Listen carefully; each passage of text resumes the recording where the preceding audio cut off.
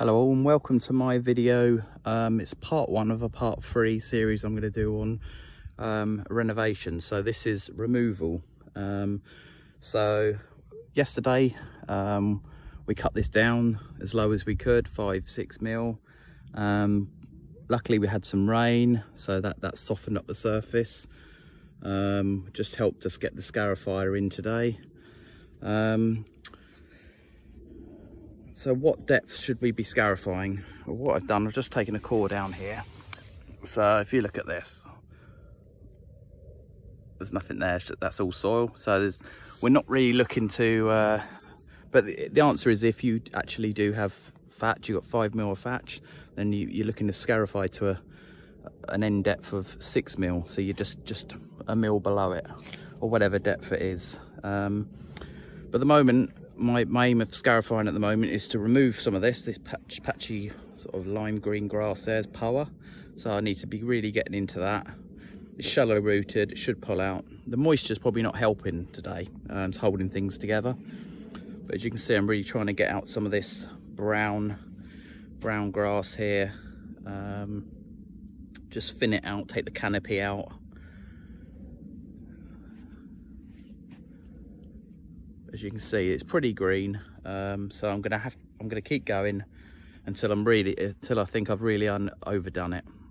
Um, a little thing I've always learned also is um, when a little indication of when to stop scarifying is also when you can't see the nap between the wickets. So everything looks one. So at the moment you can still see that's still there. So just going on to what we're removing at the moment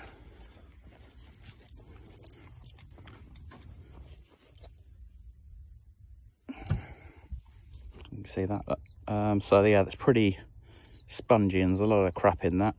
Um, obviously yeah you don't want that in the surface. You're never going to get that thick probably but this stuff that this this grass and this meadow grass and sort of dead grass that you that you see we want to remove as much of that as possible so we don't end up with a layer and a sponge. It just takes the impact out the ball and the, the pitch doesn't perform as well as it should.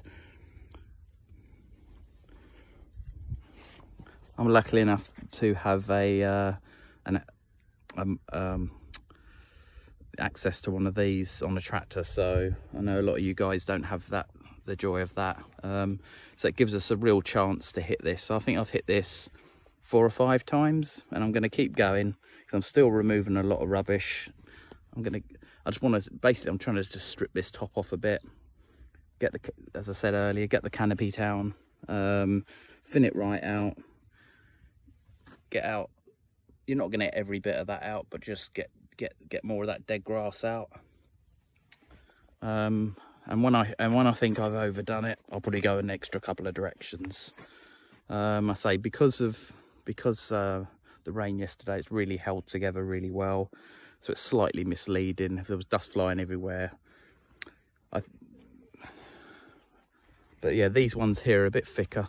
So I'll give these some pretty extra attention extra rather rather than the whole square I'll probably just put a bit extra work into these. But anyway that's the first video of, of a set of three on removing. Um, I look forward to uh, doing part two